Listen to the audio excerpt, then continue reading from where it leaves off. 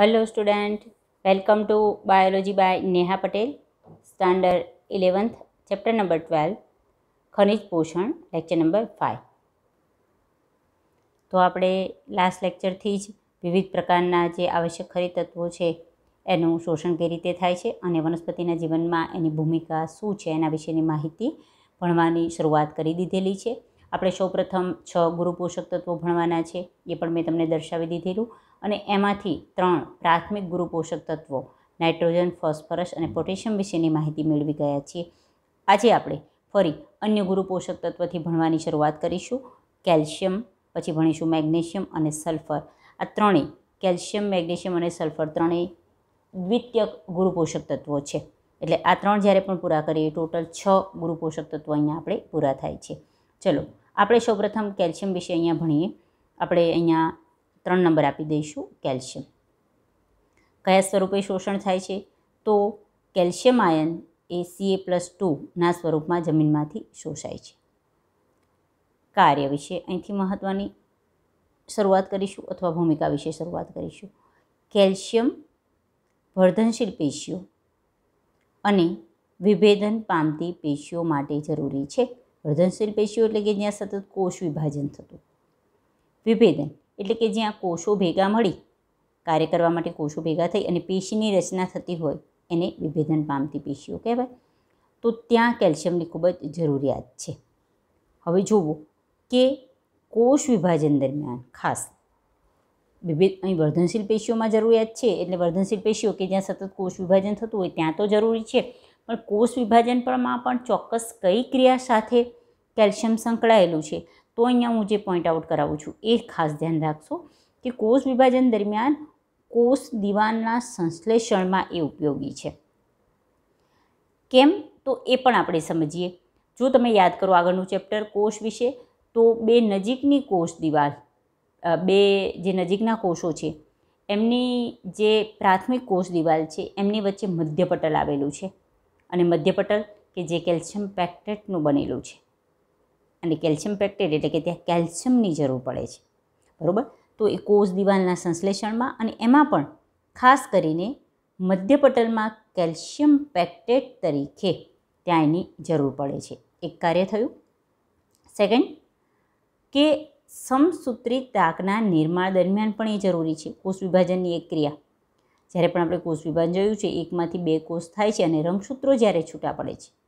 ત્યારે સમસૂત્રી બંને બાજુ સરખા જે ત્રાક, દ્વિધ્રુવ્ય ત્રાકનું નિર્માણ થાય છે, એના નિર્માણ માટે પણ કેલ્શિયમની જરૂર છે. તો અહીંયા કોષ વિભાજનની બે મહત્ત્વની ક્રિયા. એક કોષ દિવાલના નિર્માણમાં અને એક સમસૂત્રી ત્રાકના નિર્માણમાં એની જરૂર છે. પણ કોષ દિવાલના નિર્માણમાં પણ આ વસ્તુ ધ્યાન રાખીશું કે મધ્યપટલ શું છે એ તમને મેં દર્શાવી દીધું. બે નજીકના કોષોની પ્રાથમિક કોષ દિવાલ, એને જોડતી રચના એને મધ્યપટલ કહેવાય છે, જે આપણે કોષ ચેપ્ટરમાં ભણી ગયા છીએ. અને મધ્યપટલમાં પેક્ટિન આવેલું છે, ત્યાં તમને એવું દર્શાવેલું છે.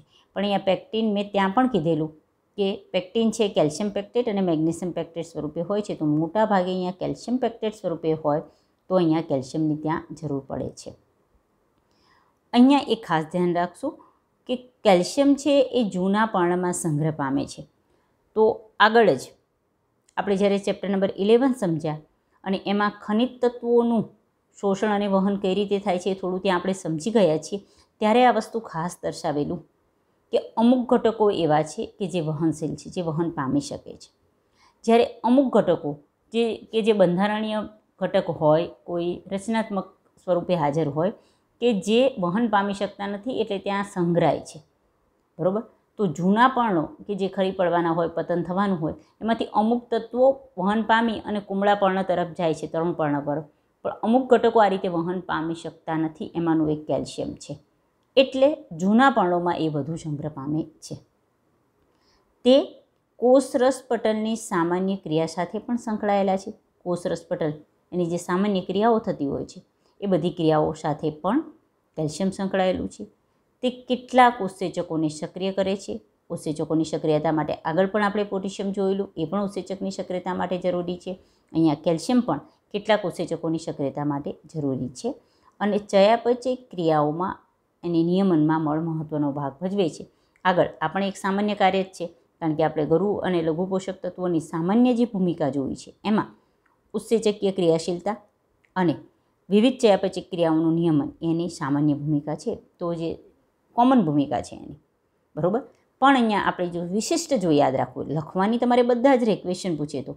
પણ ક્યાંક એમસીક્યુ માટે તમારે વિશિષ્ટ યાદ રાખવું જોઈએ કે મધ્યપટલની રચનામાં, કોષ દિવાલના સંશ્લેષણમાં કે સમસૂત્રિત આંકના નિર્માણમાં. મધ્યપટલમાં કેલ્શિયમ પેક્ટેટ સ્વરૂપે કોની જરૂર છે? કેલ્શિયમની જરૂર છે. તો આ રીતે તમે કેલ્શિયમ માટે યાદ રાખી શકો છો. શોષણ કયા સ્વરૂપે અને એનું કાર્ય. આમ જોવા જાઓ તો મહત્ત્વના ત્રણ પોઈન્ટ આ રીતે સમજી સમજીને યાદ રાખવાના. કે વર્ધનશીલ પેશી અને વિભેદન પેશી માટે જરૂર એક કાર્ય. બીજું, વર્ધનશીલ પેશી હોય તો તરત ત્યાં કોષ વિભાજન થતું હોય તો બીજો શબ્દ તરત જ કોષ વિભાજન સ્ટાર્ટ થાય. કોષ વિભાજન થાય તો બે કોષો બને. કોષોના નિર્માણ વખતે કોષ દિવાલ પણ બને તો તરત જ કોષ વિભાજનમાં ક્યાં? તો કોષ દિવાલના સંશ્લેષણમાં અને એમાં પણ બે નજીકના કોષોની કોષ દિવાલ એનું મધ્યપટલ એના નિર્માણ માટે કેલ્શિયમ પેક્ટેટની જરૂર હોય, એટલે કેલ્શિયમ જરૂર હોય. આમાંથી આમાંથી પોઈન્ટ કાઢવો. બરાબર? એટલે સેકન્ડ પોઈન્ટ અહીં પૂરો કરીએ. થર્ડ પોઈન્ટ કે તે સમસૂત્રી તાકના નિર્માણ માટે પણ જરૂરી છે, કોષ વિભાજનની ક્રિયા દરમિયાન જ. અને જૂનાપણામાં કેમ સંગ્રહ થાય છે, એ પણ મેં ફોર્થ પોઈન્ટ સમજાવ્યો, કારણ કે કેલ્શિયમ છે, અવહનશીલ ઘટક છે. એ વહન પામી અને કુમળાપર્ણ તરફ જઈ શકતું નથી, એટલે જૂનાપણામાં એનો સંગ્રહ થાય. અને પછી કોષરસ પટલની સામાન્ય ક્રિયા, ઉત્સેચકોની સક્રિયતા અને ચયાપચી ક્રિયાઓના નિયમનમાં એનો ભાગ ભજવે છે એ આખું કાર્ય ફિફ્થ કાર્ય સાથે યાદ રાખી લઈએ. તો આ રીતે એના પાંચ કાર્ય તમે અલગ પાડી શકો. આગળના ત્રણ કમ્પ્લીટ તૈયાર થાય, પછી કેલ્શિયમ વિશે વાંચો અને કેલ્શિયમના કાર્ય પણ આ રીતે યાદ કરી લઈશું. ચલો, હવે આવે છે તમારું ફિફ્થ નંબરનું આવશ્યક ખનિજ તત્વ, જેનું નામ છે મેગ્નેશિયમ એમજી કયા સ્વરૂપે શોષણ પામે? તો તે દ્વિસંયોજક, અહીં પ્લસ ટુ છે એટલે દ્વિસંયોજક કહે છે. દ્વિસંયોજક મેગ્નેશિયમ એટલે કે એમજી પ્લસ ટુ સ્વરૂપે એ શોષણ પામે છે. ચલો, અહીંથી એનું આપણે ભૂમિકા સ્ટાર્ટ કરીએ. ખાસ અહીંયા યાદ રાખજો. આપણે જ્યારે આગળ પણ પોટેશિયમ માટે જોયું તો આપણે એવું કંઈ કીધું કે ઉત્સેચકની સક્રિયતા માટે. કેલ્શિયમ માટે જોયું તો એ પણ આપણે જોયું કે અમુક ઉત્સેચકોની સક્રિયતા માટે. અહીં સ્પેશિયલી આપેલું છે તો યાદ રાખવું જ જોઈએ કે પ્રકાશ સંશ્લેષણ અને શ્વસનની ક્રિયા. વનસ્પતિમાં જે બે ક્રિયા મહત્ત્વની છે, chapter number thirteen chapter number fourteen પ્રકાશ સંશ્લેષણ અને શ્વસન, એની ક્રિયા જોઈશું તો અહીંયા ઘણી બધી એવું ક્રિયા હશે કે આ ક્રિયા સાથે સંકળાયેલા ઉત્સેચકો એની સક્રિયતા માટે એમજી પ્લસ ટુ મેગ્નેશિયમની જરૂર હશે. તો અહીંયા આ સ્પેસિબલ પોઈન્ટ છે, યાદ રાખશું. ક્વેશ્ચન તરીકે પૂછાઈ શકે એમસીક્યુમાં કે પ્રકાશ સંશ્લેષણ અને શ્વસનની ક્રિયાના ઉત્સેચકો એની સક્રિયતા માટે નીચેનામાંથી કયું ખનિજ તત્વ હાજર હોય તો મેગ્નેશિયમ. બરાબર? તે ડીએનએ અને આરએનએના સંશ્લેષણમાં ભાગ લે છે. ખાસ ધ્યાન રાખજો, અહીંયાનો બંધારણીય ઘટક છે એમ નથી કહેતી. આગળ જ વાત કરી કે ડીએનએ, આરએનએનો જો બંધારણીય ઘટક કહે તો બે આવે. એક નાઇટ્રોજન અને ફોસ્ફરસ. હોય હોય ને હોય જ. બરાબર છે? પરંતુ એના સંશ્લેષણ માટે, એટલે કે જ્યારે કે ડીએનએ બનતું હોય, ડીએનએમાંથી ડીએનએ સ્વયંજનન પામીને બનતું હોય, અને આરએનએ છે એ ડીએનએમાંથી બને. એટલે ડીએનએ ડીએનએમાંથી જ બને અને આરએનએ ડીએનએમાંથી બને, એના વિશે આપણે ટ્વેલ્થમાં આગળ સમજીશું. બરાબર? ડીએનએના નિર્માણની ક્રિયાને સ્વયંજનન કહેવાય છે અને આરએનએના નિર્માણની ક્રિયાને પ્રત્યાંકન કહેવાય છે.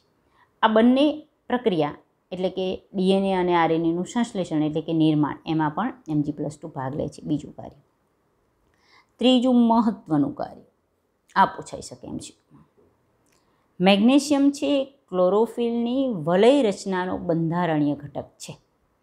તો આપણે ચેપ્ટર નંબર થર્ટીન જ્યારે સમજીએ છીએ પ્રકાશ સંશ્લેષણ પ્રકાશ સંશ્લેષણ માટે હરિદ્રવ્ય જરૂરી છે એટલી તો બેઝિક માહિતી છે જ તમારી જોડે. હરિદ્રવ્ય એમાં પણ ક્લોરોફિલ ક્લોરોફિલના પણ પ્રકાર છે, પણ એમાં જે ક્લોરોફિલ બેઝિક ઘટક છે, એનું જે આખું બંધારણ છે, એમાં મધ્યમાં, એની જે વલય રચના છે, એમાં મધ્યમાં એમજી પ્લસ ટુ હોય હોય ને હોય સોરી એમજી મેગ્નેશિયમ હોય હોય ને હોય છે. તો ક્લોરોફિલનું બંધારણીય ઘટક મેગ્નેશિયમ છે, ખાસ યાદ રાખવું અને તે રિબોઝોમ્સ, ચલો એક અંગિકા છે, કે જ્યાં પ્રકાર પ્રોટીન સંશ્લેષણની ક્રિયા થાય છે, એ અંગિકા રિબોઝોમ્સ. બરાબર? તો રિબોઝોમ્સ કે જે પટલવિહીન અંગિકા છે, એ બધા શબ્દો જેટલા એના માટે જરૂરી છે એટલે દર્શાવતી રહું છું. એના બંધારણની જાળવણીમાં જાળવી રાખવા માટે જરૂરી છે. રિબોઝોમ્સનું જે બંધારણ, એની રચના જળવાઈ રહેવી જોઈએ. એ જાળવી રાખવા માટે મેગ્નેશિયમ જરૂરી છે. તો મેગ્નેશિયમના મહત્ત્વના કાર્ય એક પ્રકાશ સંશ્લેષણ અને શ્વસન ક્રિયાના ઉત્સેચકો. અહીં જે લાઇન કરાવું છું, ત્યાં ખાસ લાઇન કરજો તમારી નોટ્સબુકમાં પણ. સેકન્ડ ડીએનએ અને આરએનએના સંશ્લેષણ માટે થર્ડ વેરિયા એમપી પોન્ટ ક્લોરોફિલનો બંધારણીય ઘટક અને ફોર્થ રિબોઝોમ્સના બંધારણને જાળવી રાખવા માટે જરૂરી છે. ચેપ્ટર નંબર થર્ટીનમાં, જ્યારે પણ ક્લોરોફિલની રચનાઓ દર્શાવી જોવી હોય તો દર્શાવી પણ દઉં. ચલો જરા જોઈ લો, આ આખું કોનું સ્ટ્રક્ચર છે? સ્ટ્રક્ચર ઓફ ક્લોરોફિલ ભાઈ, જુઓ, છે ને મોટું જબરું? આ આખું જે સ્ટ્રક્ચર છે એમાં મધ્યમાં જુઓ, મધ્યમાં. આ એનું જે વચ્ચે ઉપરની જે રિંગ આવે છે, બરાબર?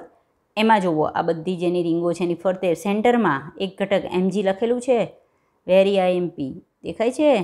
જુઓ, તો એ દર્શાવે છે કે ક્લોરોફિલની જે રચના છે એમાં એમજી આવેલું છે. અહીં હું દર્શાવું છું એટલા માટે કે ક્યાંક તમને યાદ આવે કે મેડમે આ ક્લોરોફિલનું મોટું જબરું બંધારણ દર્શાવેલું ને એમાં મધ્યમાં એમજી હતું. એટલે તમે કહી શકો કે ક્લોરોફિલનો બંધારણીય ઘટક મેગ્નેશિયમ છે. તો આપણે હવે સિક્સ નંબરનો આપણો જે આવશ્યક ખનિજ તત્વ જેનું નામ છે સલ્ફર, એના વિશેની માહિતી મેળવીએ. વનસ્પતિઓ સલ્ફરને કયા સ્વરૂપે શોષે છે? તો સલ્ફેટ એસે S O four minus two સ્વરૂપ. ચલો, તે સિસ્ટીન અને મિથિયોનિન નામના એમિનો એસિડમાં મળી આવે છે. જે વિવિધ પ્રકારના એમિનો એસિડ છે. ટોટલ વીસ પ્રકારના એમિનો એસિડ છે.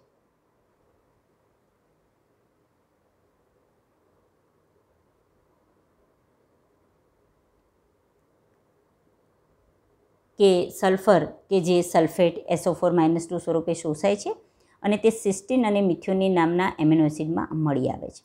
બરાબર? હવે જુઓ કે બાકીના બધા જે એમિનો એસિડ છે, કોમન એમાં નાઇટ્રોજન આવે આવે ને આવે છે. પરંતુ એવું જરૂરી નથી કે બધા જ એમિનો એસિડમાં સલ્ફર આવે. તો અહીંયા સ્પેસિફિક બે નામ છે. તો આપણે યાદ રાખીશું કે સિસ્ટીન અને મિથ્યોનિન નામનો જે એમિનો એસિડ છે. એમાં સલ્ફર નામનું જે ખનિજ તત્વ છે એ આવશ્યક છે. બરાબર? કેટલાક સહઉત્સેચકો, અમુક જે સહઉત્સેચકો છે તેમજ અમુક વિટામિન તથા ફેરોડોક્સિનનો મુખ્ય ઘટક છે. એનો મતલબ કે તેની રચનામાં એનો બંધારણીય ઘટક તરીકે સલ્ફર આવેલું છે. શેમાં? અમુક સહઉત્સેચકો કયા છે, સ્પેશિયલી નામ નથી આપ્યું. તેમજ અમુક વિટામિન્સ કયા છે. હવે વિટામિન્સમાં બે વિટામિન્સ કયા છે. કયા? થાયમિન અને બાયોટિન. તો અહીંયા એના વિશે તમને માહિતી આપી દઉં કે જે થાયમિન છે એ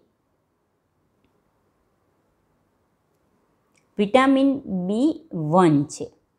જે થાયમિન છે એ કોણ છે? Vitamin B one. કારણ કે આપણને ખબર છે કે વિટામિન બીને આપણે વિટામિન બી કોમ્પ્લેક્સ કહીએ છીએ.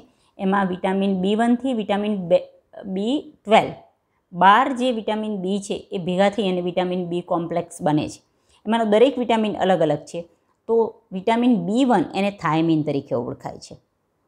અને સામાન્ય રીતે એ શરીરમાં જે અમુક ક્રિયાઓ છે સાથે સંકળાયેલો છે, અમુક ચયાપચય ક્રિયાઓ સાથે સંકળાયેલો છે.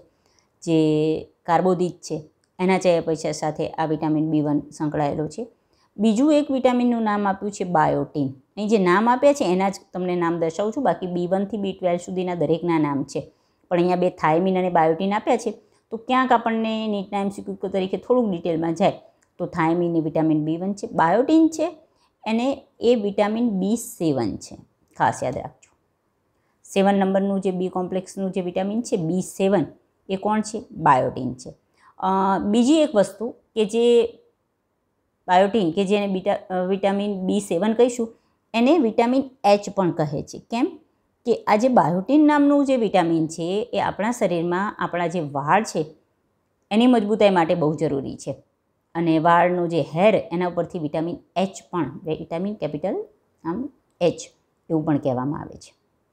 બરાબર? કોએન્ઝાઇમ એ એક પ્રકારનું વિટામિન નથી, એક પ્રકારનો સહઉત્સેચક છે. અને સામાન્ય રીતે જે ફેટી એસિડ છે, એનું ઓક્સિડેશન અને એનું જે સંશ્લેષણ થાય છે, એમાં કોએન્ઝાઇમ એ એ જરૂરી ભાગ ભજવે છે. બરાબર? તો મેં થોડી થોડી તમને માહિતી આપી દીધી છે એના વિશે. ફેરોડોક્સિનનો મુખ્ય ઘટક છે. તો ચલો તમને એમ થાય કે ફેરોડોક્સિન શું છે? આગળ પણ એક વિજાણુ પરિવહન તંત્ર શબ્દ આવેલો આપણે. લાસ્ટ લેક્ચરમાં જ્યારે આપણે આવશ્યક ખનિજ તત્વોના મુખ્ય કાર્ય જોયા હતા ત્યારે ઇલેક્ટ્રોન પરિવહન તંત્ર, વિજાણુ પરિવહન તંત્ર જેને ઇટીએસ કહેવાય, ઇલેક્ટ્રોન ટ્રાન્સફર સિસ્ટમ. એમાં અમુક એવા ઘટકો છે કે જે ઇલેક્ટ્રોનને ગ્રહણ કરે છે અને પોતાનામાંથી ઇલેક્ટ્રોન મુક્ત કરે છે. ઇન્સોર્ટ એમાં રેડોક્સ પ્રક્રિયા થાય છે. ઓક્સિડન અને ઓક્સિડેશન અને રિડક્શન બંનેની પ્રક્રિયા થાય છે અને એમાંથી જ્યારે ઇલેક્ટ્રોન પસાર થાય છે, ત્યારે શક્તિ મુક્ત થાય છે. હવે તમને આ શબ્દો કદાચ નવા લાગતા હોય તો આના માટે જ્યારે ચેપ્ટર નંબર થર્ટીન જોશો, ત્યારે જ આઈડિયા આવશે. પણ ફેરોડોક્સિન શું છે?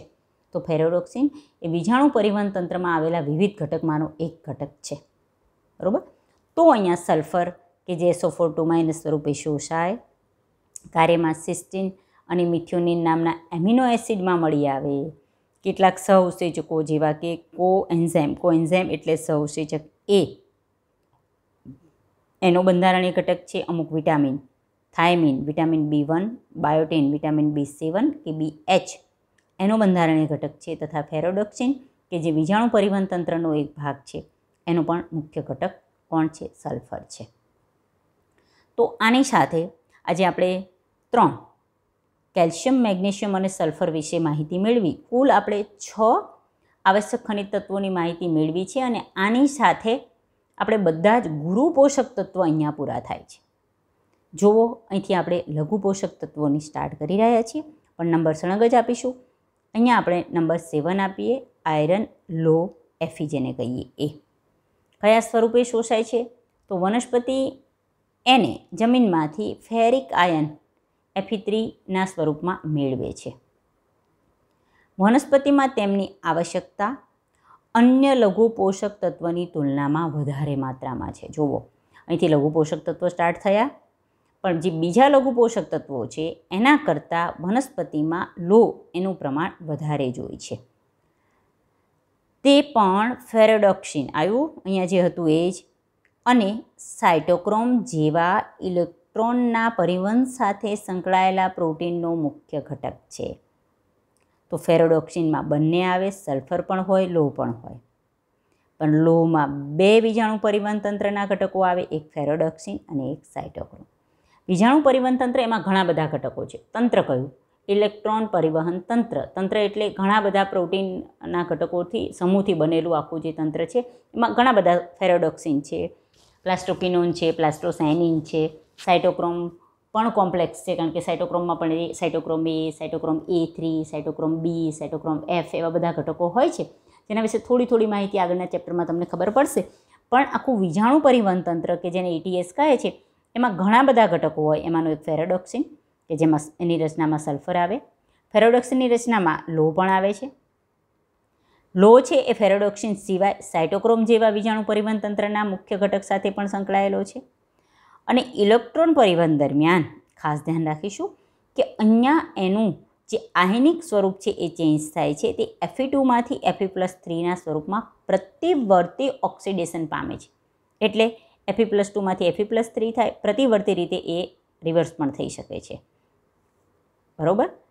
તે અમુક કેટાલેઝ ઉત્સેચકને સક્રિય કરે છે. કેટાલેઝ ઉત્સેચક, ઉત્સેચકની હાજરીમાં થતી પ્રક્રિયા જ કેટાલિટિક પ્રક્રિયા કહેવાય છે. બરાબર? તો ઘણા ઉત્સેચકને સક્રિય કરે છે અને હરિતદ્રવ્યના નિર્માણ માટે આવશ્યક છે. તો આ નવો પોઈન્ટ છે, તો અહીંયા એડ કરીએ.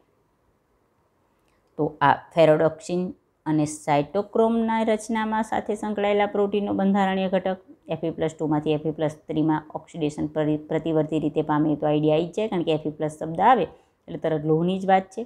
પણ હરિતદ્રવ્યના નિર્માણ માટે પણ તે શું છે? આવશ્યક છે.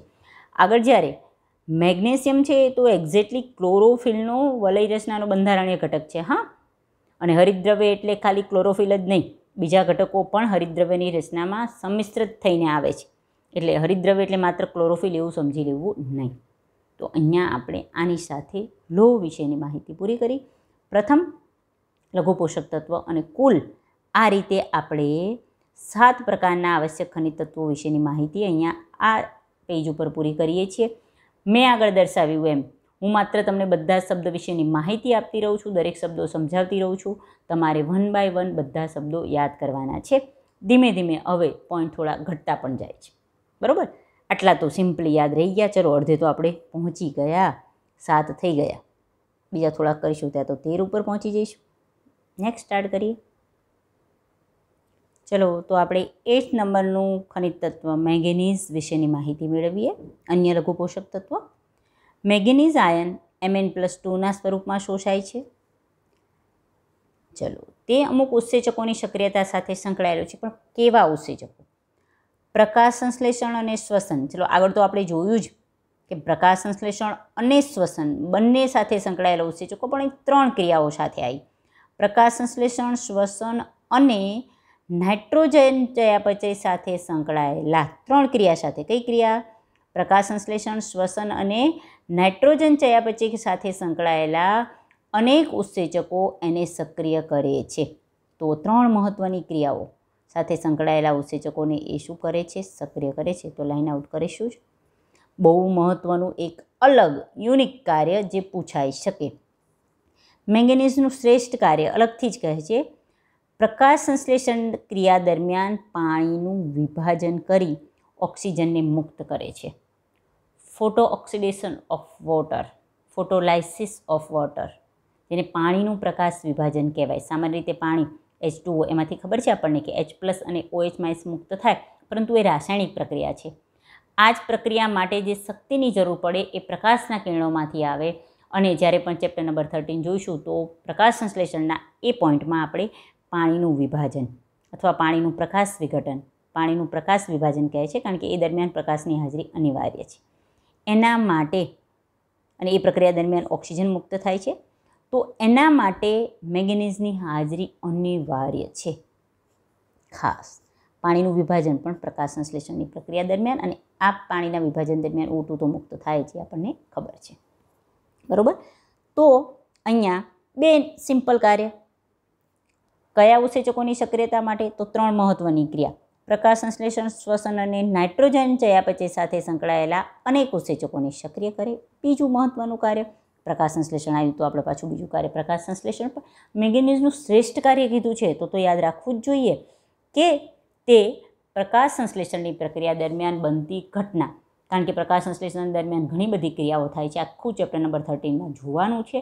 પરંતુ એના દરમિયાન બનતી એક ઘટના, પાણીનું પ્રકાશ વિભાજન કે જે દરમિયાન ઓક્સિજન મુક્ત થાય છે, એ ક્રિયા માટે મેગેનિઝની હાજરી અનિવાર્ય છે. બરાબર? ચલો નાઇન્થ નંબરનું ઝિંક વિશે સમજીએ. ઝિંક એ વનસ્પતિઓમાં zinc ion Zn plus two સ્વરૂપે મેળવે છે. તે વિવિધ ઉત્સેચકો, વિવિધ ઉત્સેચકોને સક્રિય કરવું એ તો ભાઈ ખનિજ તત્વોનું સામાન્ય કાર્ય છે, પણ કયા ઉત્સેચકો સ્પેશિયલી આપે છે? તો અહીં બે ફરી પાછું સ્પેસિફિક યાદ રાખીશું. કાર્બોક્લાઝાઇલેઝ પ્રકારના જે ઉત્સેચકો છે, એને સક્રિય કરે છે. કાર્બોક્ઝાઇલેઝ, જે પ્રક્રિયા દરમિયાન સીઓ ટુ ઉમેરાતો હોય, કાર્બોક્સિલેશન થતું હોય એ પ્રક્રિયાને આપણે કાર્બોક્ઝાઇલેઝ પ્રકાર સોરી કાર્બોક્સિલેશન પ્રક્રિયા કહીએ. અને કાર્બોક્સિલેશનની પ્રક્રિયા સાથે સંકળાયેલા ઉત્સેચકોને આપણે કાર્બોક્ઝાઇલેઝ ઉત્સેચકો કહીએ. આવા ઉત્સેચકોને સક્રિય કરે છે. હાઇલાઇટ કરું છું, યાદ રાખીશું. બે પોઈન્ટ યાદ યાદ રાખવાના છે. દરેકમાં બે બે બે બે છે. સિમ્પલ યાદ રહી જશે. બહુ ઇઝી છે. મને તો ક્યાંય અઘરું લાગ્યું નહીં. હવે તમને થશે કે ભાઈ મેડમ તમને તો અઘરું ન લાગે. અમને મિક્સઅપ થાય છે. નહીં થાય. સો ટકા નહીં થાય. મારા પર વિશ્વાસ રાખો અને મહેનત કરો. બરાબર? તેની આવશ્યકતા ઓક્ઝિનના સંશ્લેષણમાં પણ આવશ્યક. તો બે જ શબ્દ યાદ રાખવાના. કાર્બોક્સાઇલેજ ઉત્સેચક અને ઓક્ઝિન. કાર્બોક્સાઇલેજ શું છે? મેં સમજાવી દીધું. ઓક્ઝિન શું છે? તો વનસ્પતિમાં વિવિધ પ્રકારના હોર્મોન્સ, અંતસ્ત્રાવો હોય છે. જેમાં બે પ્રકાર હોય. વનસ્પતિ વૃદ્ધિ પ્રેરકો હોય અને વનસ્પતિ વૃદ્ધિ અવરોધકો હોય. વનસ્પતિ વૃદ્ધિ પ્રેરકો. એનો મતલબ કે એવા અંતસ્ત્રાવો કે જેની હાજરીમાં વનસ્પતિની વૃદ્ધિ પ્રેરાય. બરાબર? કે જે વનસ્પતિની વૃદ્ધિને પ્રેરિત કરે, જેની હાજરીમાં વનસ્પતિની વૃદ્ધિમાં વધારો થાય, કોષ વિભાજન વધે, ઝડપથી વૃદ્ધિ પામે, ઝડપથી પર્ણનું નિર્માણ થાય, ઝડપથી પુષ્પો બને, તો ઓક્ઝિન છે એના સંશ્લેષણ માટે પણ ઝીંક જરૂરી છે. ઓક્ઝિન શું છે સમજી લો એટલે તમને ઇઝીલી યાદ રહી જાય. તો ઓક્ઝિન શું છે? અહીંયા એ દર્શાવી દઈએ આપણે. તો ઓક્ઝિન એ મહત્વનો વનસ્પતિ વૃદ્ધિ પ્રેરક પ્રકારનો અંતસ્ત્રાવ છે. અને એના સંશ્લેષણ માટે ઝીંકની આવશ્યકતા છે. બે કાર્ય સિમ્પલ, કાર્બોક્ઝાઇલેઝ નામના ઉત્સેચકોને સક્રિય કરે અને ઓક્સિન નામના વનસ્પતિ વૃદ્ધિ પ્રેરક અંતસ્ત્રાવના સંશ્લેષણમાં એ જરૂરી છે. ચલો ટેન્થ નંબર પર આવી જઈએ. કોપર. તે ક્યુપ્રિક આયન શબ્દ યાદ રાખજો. અહીંયા સીએ સીયુ પ્લસ ટુ એના માટે શબ્દ વપરાય છે ક્યુપ્રિક આયન તો તે ક્યુપ્રિક આયનના સ્વરૂપે શોષણ પામે છે. તે વનસ્પતિની બધી જ ચયાપચય ક્રિયા માટે આવશ્યક છે. કોમન કાર્ય જ છે ભાઈ ખનિજ તત્વોનું ચયાપચયની ક્રિયા માટે. કારણ કે લાસ્ટ લેક્ચરમાં જે કોમન કાર્ય જોયા કોમન એટલે જે વિશિષ્ટ સોરી જે વનસ્પતિના બધા જ જે ખનિજ તત્વો છે, એ વનસ્પતિની જે સામાન્ય ક્રિયાઓ સાથે સંકળાયેલા હોય એટલે ચયાપચિક ક્રિયાઓ માટે આવશ્યક છે. તે આયરનની જેમ, આગળ પણ આપણે એફી સાથે જોયું કે રેડોક્સ પ્રક્રિયાની સાથે સંકળાયેલા કેટલાક ઉત્સેચકોની સાથે સંકળાયેલા છે. તો અહીંયા તમારે બંને સાથે યાદ રાખવાનું.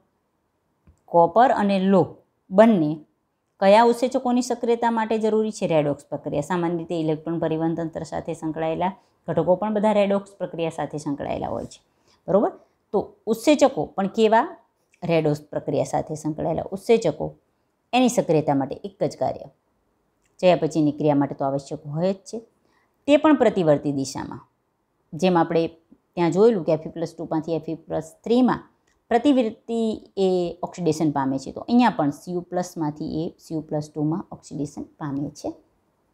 આ તો ખબર પડી જ જાય. બંને પ્રતિવર્તી રીતે એફી પ્લસ ટુમાંથી એફી પ્લસ થ્રુ એ પણ પ્રતિવર્તી ઓક્સિડેશન છે એટલે પાછું રિવર્સ થઈ શકે છે અને અહીંયા સીયુ પ્લસમાંથી સીયુ પ્લસ ટુ એ પણ પ્રતિવર્તી ઓક્સિડેશન છે. એ પણ રિવર્સ પ્રક્રિયામાં થઈ શકે છે. અને એ રીતે બંનેનું કાર્ય આ રીતે બંનેમાં પ્રતિવર્તી ક્રિયા છે. તો બંનેનું કાર્ય પણ કોમન રેડોક્સ પ્રક્રિયા સાથે સંકળાયેલા ઉત્સેચકો કારણ કે જે ઇલેક્ટ્રોન પરિવહન તંત્ર સાથે જે ફેરોડોક્સિન ને સાઇટોક્રોમને બધા સંકળાયેલા છે, એમાં મેં આગળ પણ કીધું કે ઇલેક્ટ્રોન મેળવે છે અને ઇલેક્ટ્રોન ગુમાવે પણ છે. એટલે સંયુક્ત રીતે બંને પ્રક્રિયા થાય, રિડક્શનની અને ઓક્સિડેશનની, એટલે આપણે એને રેડોક્સ ઘટકો કહીએ છીએ. કયું કોપર અહીંયા આપણે પૂરું કર્યું. સિમ્પલ થયું છે ને ભાઈ, મેગ્નીઝ, ઝીંક, કોપર. જો નાના નાના, થોડા થોડા ટોપિક આપણે અહીંયા પૂરા કરી રહ્યા છીએ. હવે ત્રણ જ બાકી છે, હા. ઇલેવન નંબરનું સ્ટાર્ટ કરીએ. Boron. BO three minus three. B four O seven minus two. જરા યાદ રાખીશું. આ એન સ્વરૂપમાં એ શોષણ પામે. ચલો. અહીંયા જરા યાદ રાખશું કે તેની આવશ્યકતા હવે ઘણીવાર અમુક જે આયનો છે એના શોષણ માટે અને વહન માટે પાછા આયનો જોતા હોય. તો કેલ્શિયમ આયન છે. એના શોષણ માટે અને તેના ઉપયોગ માટે બોરોનની જરૂર પડે. કેલ્શિયમ હોય તો ખરું વનસ્પતિમાં, પણ વનસ્પતિમાં એને શોષવું હોય, એને આગળ ક્રિયામાં ભાગ લેવો હોય ને એનો ઉપયોગ કરવો હોય, તો બોરોન એને મદદ કરે. કેલ્શિયમ તો ઘણીવાર શું થઈ જાય ખબર પડે? કે જો બોરોન ઓછું હોય, તો કેલ્શિયમ હોવા છતાં કેલ્શિયમના ઉણપીય ચિહ્નો દર્શ જોવા મળે. રીઝન શું? કે બોરોન ન હોય તો કેલ્શિયમ હોય પણ પૂરતા પ્રમાણમાં કેલ્શિયમ શોષાઈ નહીં શકે ને એનો ઉપયોગ ના થઈ શકે. તો કેલ્શિયમના ઉણપીય ચિહ્નો ક્યાંક ત્યાં જોવા મળે. ઉણપીય ચિહ્નો શું એ પહેલાં તો આપણે પછી સમજવાનું છે. ઉણપ કે જેની પ્રમાણ ઓછું હોય તો એના કારણે વનસ્પતિમાં જે ચિહ્નો દેખાય એ. પણ અહીંયા કાર્ય યાદ રાખો કે તે સીએ પ્લસ ટુના શોષણ અને ઉપયોગ માટે કોષરસ પટલની કાર્યશીલતા જાળવવા માટે, નવો પોઈન્ટ આવ્યો ભાઈ. પરાગરજના અંકુરણ માટે બોરોન જરૂરી છે. જ્યારે પણ આપણે ચેપ્ટર નંબર ટુ જોઈ ગયા છીએ. સોરી સ્ટાન્ડર્ડ ટ્વેલ્થમાં જે ચેપ્ટર નંબર ટુ જોવાનું છે. સપુષ્પી વનસ્પતિઓમાં લિંગી પ્રજનન. એમાં પરાગનયન દ્વારા પરાગરજ છે, એ વનસ્પતિના સ્ત્રીકેશરના પરાગાસન પર બેસે અને પછી એમાંથી એનું અંકુરણ થાય. એમાંથી પરાગ નલિકાનું નિર્માણ થાય, એને આપણે અંકુરણ કહીશું, કે જેના વિશે તમને ત્યારે ખબર પડશે. શબ્દ યાદ રાખી લો. પરાગરજના અંકુરણ માટે બોરોન જરૂરી છે. કોષ વિસ્તરણ, કોષ વિભેદન તેમજ કાર્બોદિતના સ્થળાંતરમાં ભાગ લે છે. કોષ વિસ્તરણ અને કોષ વિભેદન સામાન્ય રીતે વૃદ્ધિ સાથે સંકળાયેલી જ ક્રિયા છે. કોષનું વિસ્તાર વધવો, કદ વધવું. કોષ વિભેદન, કોષો ભેગા થઈને પેશીનું નિર્માણ થવું. બરાબર? તો અહીંયા વિશિષ્ટ સ્વરૂપે ત્રણ કાર્ય સીએ પ્લસ ટુના શોષણ અને ઉપયોગિતા માટે પરાગરજના અંકુરણ માટે, કાર્બોદિતના સ્થળાંતર માટે પટલની ક્રિયાશીલતા માટે. આગળ પણ એક આપણે ખનિજ તત્વ જોયું છે, એને પણ ભેગું કરી લો, બંને પટલની કાર્યશીલતા માટે. બરાબર? તો અહીંયા આપણે બોરોન વિશેની માહિતી આ રીતે પૂરી કરીએ છીએ. ચલો, નેક્સ્ટ, મોલિબ્નેડમ, એમઓ. વનસ્પતિ તેને molybdate ion, Mo O two plus ટુના સ્વરૂપમાં મેળવે છે. અને તે નાઇટ્રોજન ચયાપચયમાં ભાગ લેતા. જો, આગળ અમુકમાં એમ કીધું, ખાલી પ્રકાશ સંશ્લેષણ અને શ્વસન સાથે સંકળાયેલા ઉત્સેચકો છે. અમુકમાં એવું કીધું છે, પ્રકાશ સંશ્લેષણ, શ્વસન અને નાઇટ્રોજન ચયાપચય સાથે સંકળાયેલા ઉત્સેચકો. અહીંયા સ્પેશિયલી ખાલી નાઇટ્રોજન ચયાપચય સાથે સંકળાયેલા ઉત્સેચકો. બરાબર? જેવા કે નાઇટ્રોજિનેઝ અને નાઇટ્રેટિક રિડક્ટેસ બંનેનો ઘટક છે. અમુકમાં શું હોય છે? કે આ જે ઉત્સેચકો છે એને સક્રિય કરવાનું કામ થતું હોય, જે તે ખનિજ તત્વની હાજરીમાં. અમુકમાં શું છે કે અમુક જે ઉત્સેચકો છે એનો બંધારણીય ઘટક હોય, એટલે આ નાઇટ્રોજિનેઝ અને નાઇટ્રેટ રિડક્ટેઝ નામના જે બે ઉત્સેચક છે, એ પહેલાં તો કયા કાર્ય સાથે સંકળાયેલા શબ્દો પરથી? Nitrogenase, nitrate reductase. જ્યાં પણ નાઇટ્રોજન શબ્દ આવે છે, તો એ નાઇટ્રોજનની ચયાપચી ક્રિયા છે એમાં ભાગ લેતા હોય. આ બે ઉત્સેચકો. આ બે ઉત્સેચકોનું બંનેનું એક ઘટક છે, બંધારણીય ઘટક છે. એનો મતલબ કે આની બંનેની રચનામાં, બંનેના બંધારણમાં મોલિબ્લેડમ આવે છે. અમુકમાં જોજો, યાદ કરો જો, રિવર્સ જઈને જરા જોઈ લેજો, સાંભળી લેજો કે અમુક શું હોય કે ઉત્સેચકોની સક્રિયતા માટે હોય. એટલે ઉત્સેચકના બંધારણમાં એ ખનિજ તત્વ ન હોય. પરંતુ જે તે ઉત્સેચક એ ઘટકની હાજરીમાં, એ ખનિજ તત્વની હાજરીમાં સક્રિય થાય. અહીંયા જે મોલિબ્લેડમ છે એ નાઇટ્રોજિનેઝ અને નાઇટ્રેટ રિડક્ટેઝ નામના બે ઉત્સેચકો કે જે નાઇટ્રોજન ચયાપચય સાથે સંકળાયેલા છે, એનો ઘટક છે, એક જ કાર્ય. યાદ રહી જ જાય. હવે આવે છે લાસ્ટ વન ક્લોરિન બરાબર છે? આપણે લાસ્ટ લઘુ પોષક તત્વ વિશે ભણી રહ્યા છીએ. તે ક્લોરાઇડ આયન સીએલ માઇનસ સ્વરૂપમાં શોષણ પામે તે, ચલો, અહીંયા પણ બીજા ખનિજ તત્વોની ઇફેક્ટ માટે ક્લોરિન જરૂરી છે. તે પોટેશિયમ તેમજ સોડિયમની સાથે મળીને કોષમાં દ્રાવ્ય પદાર્થની સાંદ્રતા, એનાયન, કેટાયન સંતુલન, એટલે ધન આયન ઋણાયન સંતુલન, આયન સંતુલન શબ્દ આવી ગયો, મેં કીધું તું આગળથી શોધો. ચલો, પોટેશિયમમાં જ આયનિક સંતુલન શબ્દ આવી ગયો હતો તો પોટેશિયમ, સોડિયમ અને ક્લોરિન એ સાથે મળી અને આયનોનું સંતુલન જાળવી રાખે, કોષોમાં જે તે પદાર્થની સાંદ્રતા જાય કારણ કે જેટલા જે તે પદાર્થની સાંદ્રતાનું પ્રમાણ વધે ઘટે, એ પ્રમાણે એનું કેટાયન, એનાયન એટલે કે ધનાયન, ઋણાયનનું સંતુલન જળવાઈ રહે છે. આયન સંતુલન યાદ રાખો. ત્રણેય સાથે મળીને પોટેશિયમ, સોડિયમ અને ક્લોરિન. તે પ્રકાશ સંશ્લેષણમાં પાણીના વિભાજનની ક્રિયાવિધિ માટે આવશ્યક. ચલો બીજું આવ્યું આગળ કયું જોયું હતું મેંગેનીઝ એ પણ પ્રકાશ સંશ્લેષણ દરમિયાન પાણીના વિભાજન માટે જરૂરી છે. અને ક્લોરિન પણ. શબ્દ થઈ ગયો તો એક ક્વેશ્ચન પૂછે તો એના આન્સર બે રહે. તમને એમ પૂછે છે કે પ્રકાશ સંશ્લેષણ દરમિયાન પાણીનું વિભાજન જે થાય છે કે જેના દરમિયાન ઓટું મુક્ત થાય છે, એ ક્રિયાવિધિ માટે કયો ખનિજ તત્વ આવશ્યક છે? તો બે આન્સર આવશે, મેગ્નીઝ અને ક્લોરિન. ખાસ અહીંયા ધ્યાન રાખશું. અને આ પ્રક્રિયા દરમિયાન ઓક્સિજન મુક્ત થાય છે. બે કાર્ય. આયન સંતુલનનું, કે જે પોટેશિયમમાં આવી ગયું છે, અને એની સાથે સોડિયમ પણ જોડાયેલું છે. પાણીના પ્રકાશ વિભાજનનું, કે જે મેગ્નીઝમાં આવેલું છે, એ પણ. એટલે આ કાર્ય માટે બે જોઈએ મેગ્નીઝ અને ક્લોરિન. અને આ એક કાર્ય માટે ત્રણ જોઈએ, પોટેશિયમ, સોડિયમ અને ક્લોરિન. બરાબર? તો આ રીતે અહીંયા આપણે એક નિકલ વિશે અહીં તમને આપેલું નથી માહિતી. કાર્બન, હાઇડ્રોજન અને ઓક્સિજન તેર થઈ ગયા. બરાબર છે? જુઓ, તો અહીંયા આની સાથે આપણે તેર પ્રકારના વિવિધ આવશ્યક ખનિજ તત્વો વિશેની માહિતી પર્સનલી એક એક એના કાર્ય સાથે પૂરી કરી છે. શાંતિથી, સિમ્પલી. પહેલાં બધા ગુરુ પોષક તત્વો કરી નાખો. ચલો, છ થઈ જાય. સિમ્પલ. બરાબર? લઘુ પોષક તત્વોમાં પહેલાં ચાર કરો. પછી બીજા ચાર કરો. ટોટલ આ રીતે. સોરી સાત જ લઘુ પોષક તત્વો આપણે કરવાના છે નિકલ વિશે, તો આપેલું નથી આઠમા વિશે. તો પહેલાં શું કરીશું? છ ગુરુ પોષક તત્વો કરી નાખીએ. પહેલાં ત્રણ ગુરુ પોષક તત્વો કરીએ, પછી ત્રણ કરીએ. છ થઈ જાય? કમ્પ્લીટ આવડી ગયા? પછી સ્ટાર્ટ કરો લઘુ પોષક તત્વો. સાત છે? પહેલાં ત્રણ કરી નાખો, પછી ચાર કરી નાખો. સાથે સાત સાથે બોલી જાઓ, આવડી જાય. ફરી પાછા તેરે તેર વિશે સમજી જાઓ. જે નોટ ડાઉન કર્યું છે ત્યાં ખાસ ધ્યાન રાખો. તો ક્વેશ્ચન પૂછાય તો કયો? લખી શકાય. તો આની સાથે આપણે બધા જ જે આવશ્યક ખનિજ તત્વો છે, એના વિશેની માહિતી, એટલે કે એનું જે વનસ્પતિમાં શું ભૂમિકા છે અને કયા સ્વરૂપે શોષણ પામે છે, એના વિશે આજનો લેક્ચર આપણે અહીંયા પૂરો કરીએ છીએ. જય હિન્દ.